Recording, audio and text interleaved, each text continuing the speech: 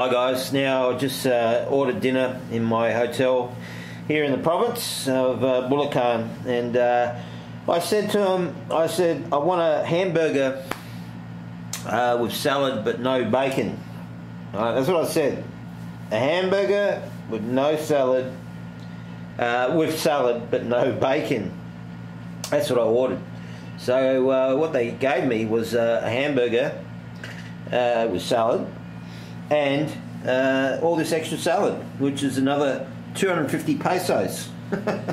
so um, somehow this happens a fair bit in the Philippines, uh, as most people can attest.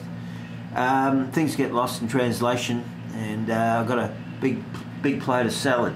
So um, there you have it, and uh, I've got to pay another 250 pesos for this plate of salad. So uh, there you go. Anyway, um, just uh, just a word of advice: just um, say what you want two or three times and get them to repeat it. I should have got them to repeat it. That's what I didn't do. And uh, so I got this big plate of salad uh, on top of my uh, burger and chips. So um, no big deal, but um, you know, it's uh, just something to look, look out for. Is uh, losing things in uh, translation. Thank you guys. Bye bye.